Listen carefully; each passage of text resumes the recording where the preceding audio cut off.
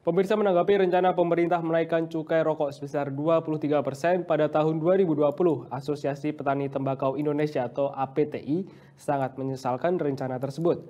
APTI menilai kenaikan cukai terlalu tinggi tersebut dapat berdampak pada penyerapan bahan baku nasional di tingkat petani. Pasca penetapan kenaikan tarif cukai rokok oleh pemerintah sebesar 23 persen, sejumlah perusahaan rokok skala kecil di Kudus kini mulai resah. Salah satunya adalah PR Kembang Arum Sejak kenaikan cukai setiap tahunnya yang dinilai cukup tinggi membuat perusahaan rokok skala kecil semakin terhimpit. Tak jarang sejumlah perusahaan rokok skala kecil di Kudus terancam gulung tikar. Tidak hanya itu, pengurangan karyawan menjadi solusi untuk menekan biaya produksi yang terlalu tinggi. Endang Ekowati, pengusaha rokok Kembang Arum mengaku naiknya cukai rokok dapat dikatakan pemerintah turut membantu lesunya industri rokok skala kecil. Dari sekitar 80 pekerja borong lepas yang dibayar sesuai kinerja secara berangsur terancam dirumahkan lantaran semakin besarnya biaya produksi.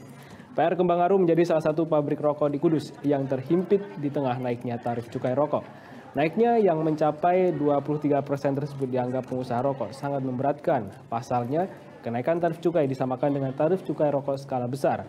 Mulai tanggal 1 Januari 2020 mendatang, pemerintah menetapkan kenaikan tarif cukai rokok sekitar 23 persen dan menaikkan harga jual eceran dengan rata-rata 35 persen.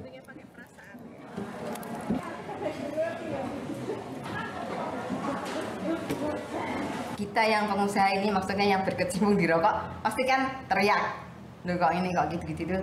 Nanti Jadi itu ada pengurangan berapa persen nanti mungkin kemungkinan kemungkinannya seperti itu. Atau dipertahankan dengan kondisi Saya sudah bertahan loh Pak ini. oh, Saya sudah bertahan sekian lama.